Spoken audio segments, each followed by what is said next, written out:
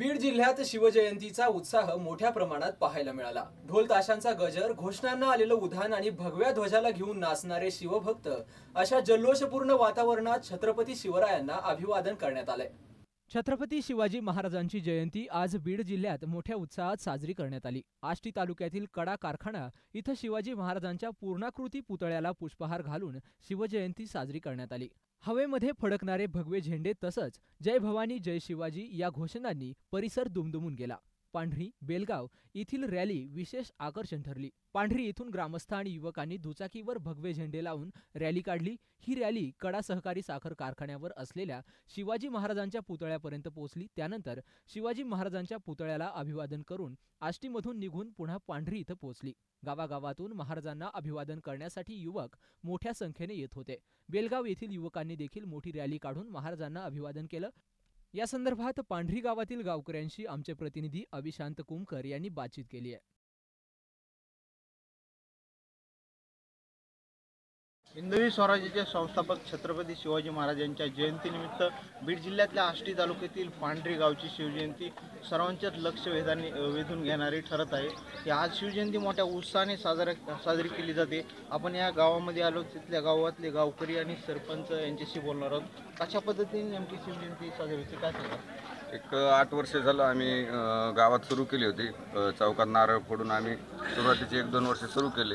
त्याच्यानंतर मग त्याचं स्वरूप वाढत वाढत वाढत वाढत गेले. तर आज मोठ्या प्रमाणात जयंती साजरी होते. आमच्या पांढरी गावाव्यतिरिक्त इतरही गावातले तरुण इथं उपस्थित होतात. एक भव्य दिव्य अशी रॅली निघते. आणि नंतर शिवव्याख्यान होतं. अशा प्रकारे चांगला सामाजिक कार्यक्रम राहतो. तर राजकारणाव्यतिरिक्त आम्ही सगळ्याचं आयोजन करतो.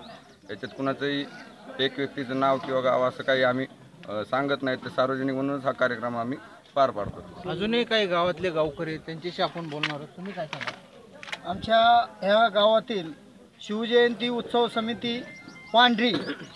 असं आमच्या गावात शिवजयंतीसाठी अध्यक्ष हा पूर्ण गावातच असतो. असं गा गावाने एक माणूस असा एक व्यक्ती असा हा शिवजयंतीचा अध्यक्ष नसतो आमचा.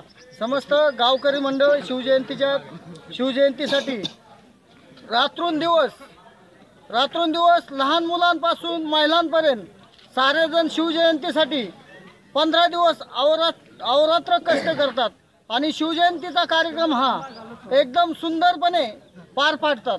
अजूनही काही गावातले गावकरी त्यांच्याशी आपण बोलणार आम्हाला शिवजयंतीबद्दल एवढंच सांगायचं की छत्रपती शिवाजी महाराजांनी आम्हाला स्वाभिमान शिकवला. तर त्यांचा विचार आम्ही कृतीत आणून कुणालाही बाहेरच्यांना वर्ग न मागता कुणाकुणा असे जबरदस्तीने वर्गण पावती न फाडता आमच्या स्वतःच्या कष्टातून मजूर जे कामगार आहेत आमचे सगळे मजुरी करतात लोक शेतक शेतकरी जे आहेत तर सगळ्यांचा यात उत्स्फूर्त असा सहभाग असतो. आणि बाहेरची वर्ग न घेता आपल्या महिलांची विशेष लक्ष कार्यक्रमाचं म्हणजे महिलांची उपस्थिती लक्षणीय असते.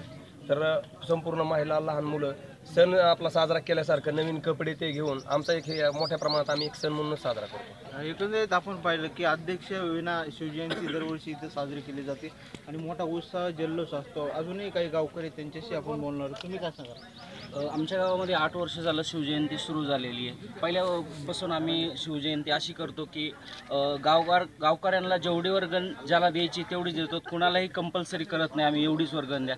आणि सकाळी आमची भव्य रॅली निघते. त्याच्यानंतर शिवव्याख्यान होतं. त्याच्यानंतर महा जेवणाचा कार्यक्रम होतो. अशा पद्धतीने आम्ही शिवजयंती साजरी करतो.